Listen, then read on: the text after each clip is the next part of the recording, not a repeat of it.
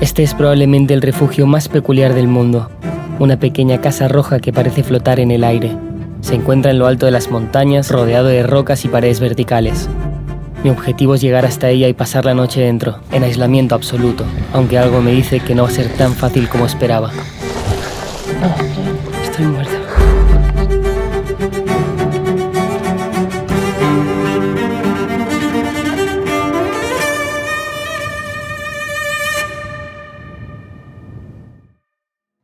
Mucha suerte, Ser. En esta vida uno necesita amigos como Facundo que te lleven al aeropuerto.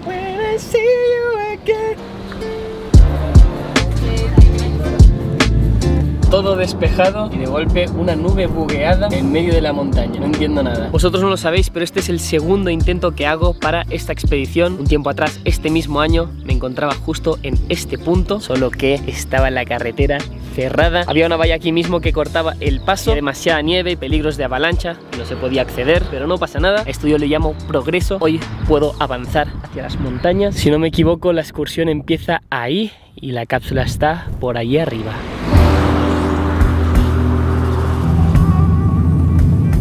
Una cosa os voy a decir, llevar esta mochila me parece un insulto a la inteligencia humana. Son muchos kilos y solo llevo lo imprescindible. Esto va a ser muy duro, pero no hay excusas. Bueno, sí que hay excusas, pero hay que obviarlas. Empezamos. La excursión empieza en el observatorio astronómico a pie de montaña, así que oficialmente doy por iniciada la excursión. Estoy diciendo que está empezando la excursión y ya estoy respirando fuerte. Llevo dos metros caminados. Qué triste.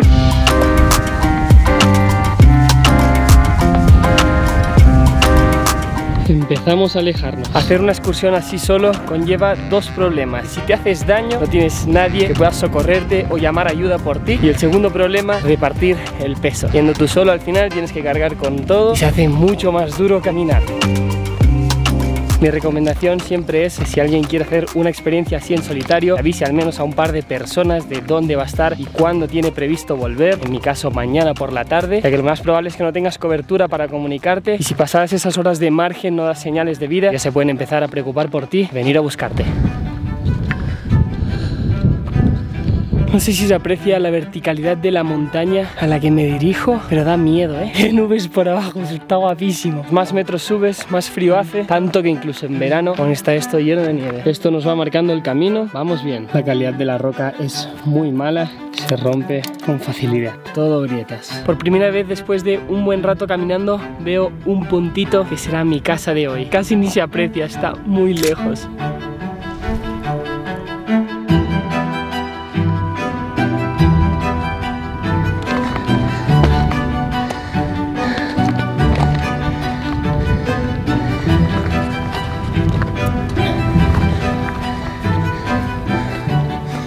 De ir oh, hacia las rocas, toca el primer descansito del día.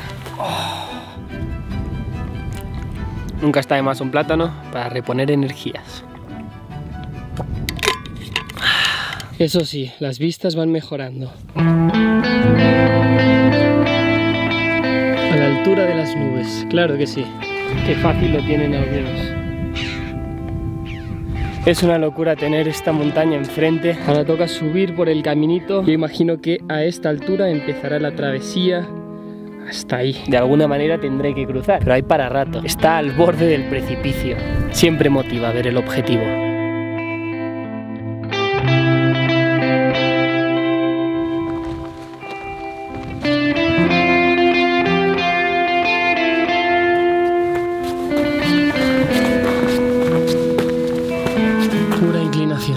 Esto es muy duro.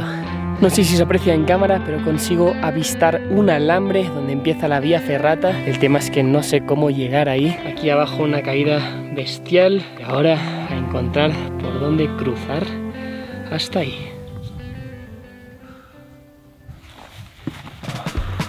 Ahora que empieza la parte difícil de contar con un poco de seguridad extra, un poco cabezón, no me acaba de gustar. Mirad qué arnés tan bien comprimido, pura clase. No cuento con la equipación que se suele usar para una vía ferrata, pero he traído una vaga de anclaje y una cinta con otro mosquetón, con un buen nudo alondra para que no baile mucho. Este va a la anilla ventral del arnés y este, como si fuera una cuerda escalada, pasa por los dos aros de cintura y de piernas, que bueno, si no os fiáis de esta cinta, aguanta unos 2200 kilos en estático, claro, los mosquetones más de lo mismo, todo bien. El casco no es para protegerme si me caigo yo, es más por si me caen rocas, no quiero que vayan a mi cabeza. En un terreno tan vertical no paran de caer, mejor estar protegido, por si no tienes tiempo a esquivarlas. No es muy agradable encontrarse placas de nieve con este desnivel, lo bueno es que se puede rodear por abajo superado. Por no hacer 15 metros, he hecho 50. Empezamos. Comprobación oficial de seguridad. Arranco detrás mío, la muerte, mosquetón aquí. Me dejo, no pasa nada. La razón por la que se usan dos a la vez es porque cuando llegas a un checkpoint tienes que pasar al otro lado y así en este momento sigues estando agarrado y seguro. Cuando tienes el primero, pones el segundo. Básicamente, mientras no te sueltes de esto, tu vida está a salvo. Eso sí, para agarrar la cámara, ni seguridad ni hostias. Me cago en la puta. Esta piedra que se rompe más. ¡Opa!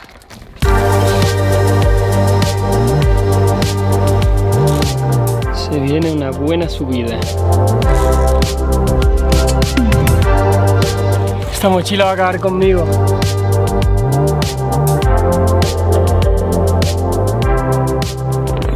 Están súper cerca, no sé qué pasa. No sé si están haciendo un rescate, pero están encima mío.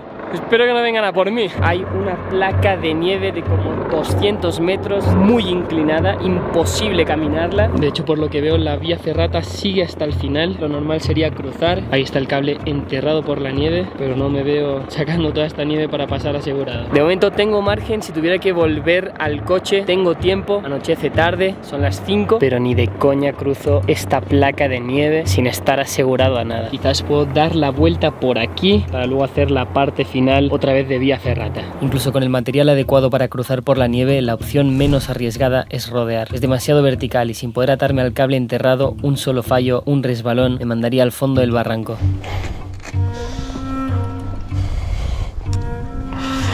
Hay que tener todo el rato tres puntos de contacto para no caer. Escalar hacia abajo es lo peor que te puede pasar. Hay que asegurarse constantemente que estás tocando cantos buenos, porque es que mira esto, se deshace.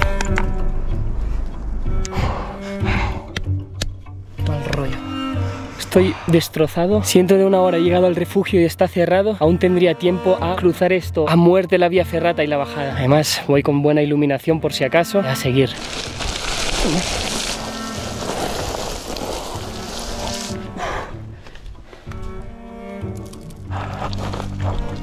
Solo he hecho este trozo. Me queda bajar hasta ahí abajo volver a subir.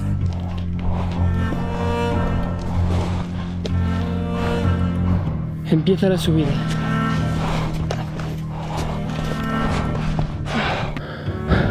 Puto vertical, tío. No se acaba nunca. Uh.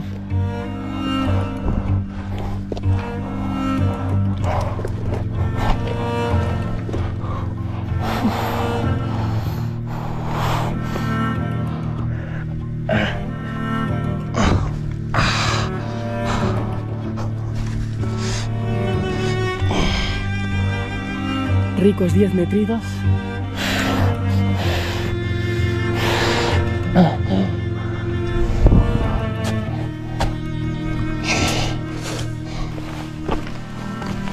No puedo apoyar la pierna, tío. No me había pasado nunca esto. Oh, se me está subiendo el cuádriceps. Me duele mucho, tío. De tanto hacer presión con las piernas, tengo ahora tirones en el cuádriceps y no puedo caminar. Tengo aquí otro barranco que tengo que bajar y subir eso. No puedo caminar. ¿Cómo coño voy a bajar esto? Joder. Es que mira lo cerca que está el refugio, tío. Estoy aquí. Mi salvación. Dios.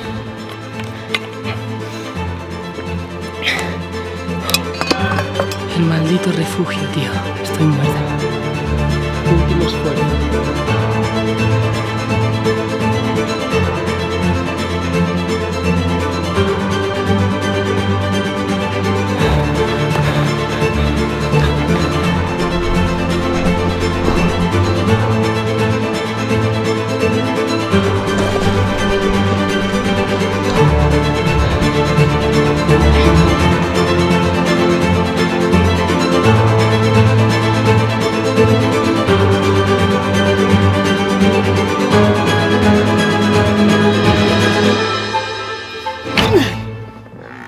Oh, sí. Estoy aquí, tío, no me lo puedo creer. Tengo los dos cuádriceps que se me suben, no me había pasado nunca y he hecho muchas más horas de excursión. Estoy fatal, demasiado sudado. Voy a sacarme la camiseta porque da asco. Empieza a hacer fresquito.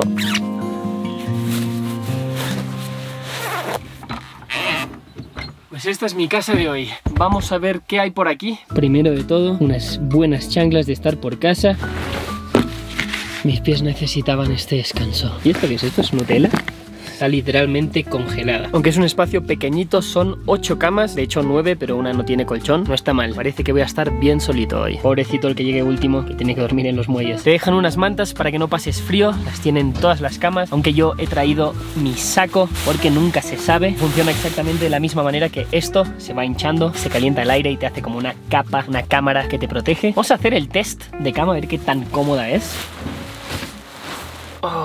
Mis vértebras se están estirando ahora. Sinceramente estoy tan cansado. Me parece la mejor cama que he probado nunca. Sé que no lo es, ¿eh? Por aquí el kit de emergencia, muy útil, sobre todo cuando hay algo dentro, no es el caso. Por aquí una mesita con el clásico libro que se firma al llegar. Mirad la cantidad de gente que ha firmado esto. Gas, una vela, más velas, un fogón, una carta bonita, una piedra y mi favorito, Peter Pan, que de hecho está al revés ahora que lo veo. Y esto es como una fuente, ¿no? Un petardo. Igual está bien de noche, con todo cerrado, pegarle fuego y ver qué pasa. Y una buena despensa con más gas, latas de comida, pero no voy a usar nada, principalmente porque ya traigo lo mío y porque quizás hay alguien que en algún momento llega muy justo de vida y necesita estos alimentos para sobrevivir. Y como no, unas buenas cartas. Está anocheciendo, me he preparado ya para la oscuridad con esta linterna y una cosa que antes no he visto es quizás mi cosa favorita de la cápsula.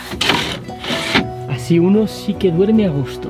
¡Qué vistas! Y por aquí arriba una bonita cristalera.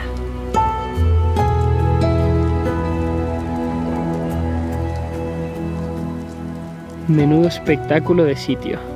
Todavía no me creo que esté aquí en la cápsula. Estoy como en 10 metros cuadrados, todo lo otro es caída, barranco, muchos metros. Es una locura. Y esta es mi casa.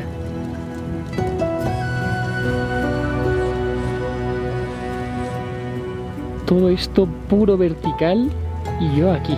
Esto es todo, ya está. Y bueno, es momento de entrar y encerrarme porque está empezando a hacer frío y eso no me gusta. Oh. Menos mal que se puede cerrar por dentro, porque qué miedo si no, que venga algún loco a medianoche a asesinarme o algo. No, no se puede cerrar por dentro. Yo tengo que hacer un sistema. Tengo que cerrar. Claramente nadie va a llegar aquí, imagínate que viene un, yo que sé, un animal muy hábil o algo. Mirad qué buen sistema he ideado. La cinta está trabada con esto, que hace presión. Va conectada a un cordino que sigue. La hoga de anclaje se tensa por aquí hasta que no pueda más. Y esto bloquea si alguien tira del otro lado. Y solo yo puedo aflojarlo y al menos si quiere venir algún loco, que pique a la puerta. Lo gracioso ahora sería que alguien me cierre desde fuera. Pero bueno, creo que podría abrir la puerta a putazos. Pollo y noodles o carne y patata. Creo que vamos a ir a por el pollo. Y como veis, tengo todavía mucho agua. he racionado bastante bien. Supuestamente no es necesaria agua caliente, lo que tiene la comida militar. Ya podrían poner la típica línea que marca hasta dónde tienes que poner el agua. Va a ir a ojo esto. Se cierra Oye Siri, con un temporizador de 8 minutos. Tengo que ir removiendo un poco lo que me he pasado con el agua. Esto no está caliente. Yo pensaba que se calentaba. Soy estúpido. Se supone que tienes que usar un sobre especial que calienta el agua, pero al parecer lo habré perdido porque en el paquete de la comida no había nada. Epa, creo que tendré que tirar el agua que es sobrante, ¿no? Porque esto es una sopa ahora mismo. ¡Qué mala pinta, tío! No huele mal, ¿eh?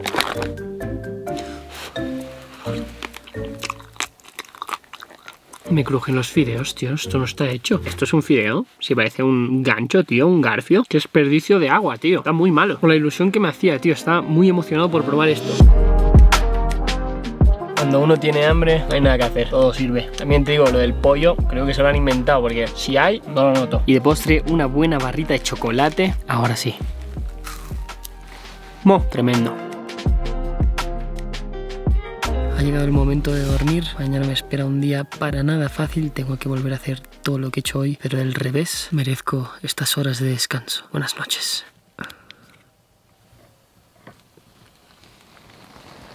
Buenos días. ¿Para qué susurro? No entiendo. Dios.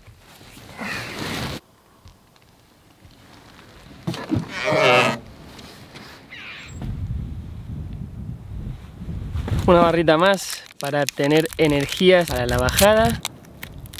Buah, está congelada de hoy por la noche. Está como una piedra. Está toda esta plancha de nieve ya deshaciéndose. Viene el calor, ya se ven parches de tierra. Igual llego a venir una semana más tarde. Me ahorro toda la odisea de ayer. Qué mala suerte. Linda placa, 2669 metros. Hecho el año 1966. Gracias por cuidarme.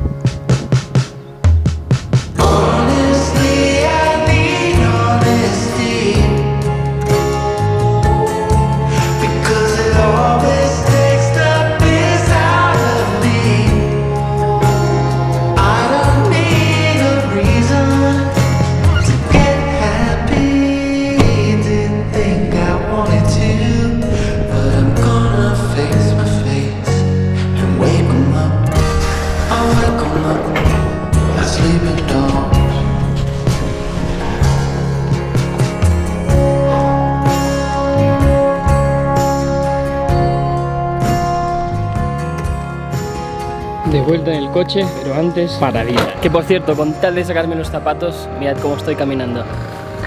Un asfalto muy agradable. Sí, un panino. Grazie mille. Name? Jep. Jack. Giuseppe. Giuseppe. Necesitaba realmente uno de estos, eh. Giuseppe.